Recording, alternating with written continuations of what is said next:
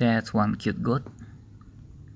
Hi guys. So in tour challenge 2 there's a requirement to take out 5 goats. So where to find the goats? Here are the guide. You can pick daisy hills from the daisy cup. It's on the top left. And I think it's the best to choose daisy on this stage because it got frenzy. It means you can get 3 items per item box and also the power up is heart. This heart is overflowing with kindness. It will protect you from opponents attacks and it also can attack the goat. So here's the preview of the heart. I'm about to hit the goat with the heart and it will, it will be counted on the top right. You can see goat notification and the goat will pop out for one round. So in this stage there are two goats.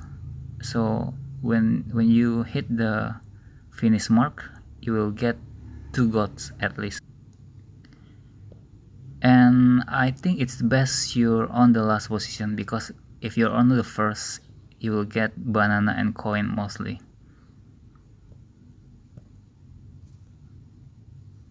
and you can hit it with the green shell the normal green shell.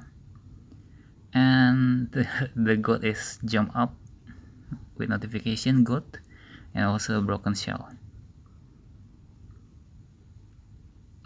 And if you hit the goat without any power-ups or items it won't be counted and you will also lose the coins